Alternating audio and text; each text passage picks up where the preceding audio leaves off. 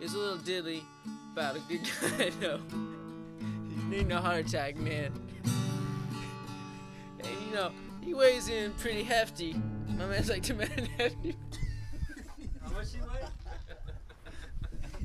He's like the guy in the hefty bag. Okay, okay, let's take it from here.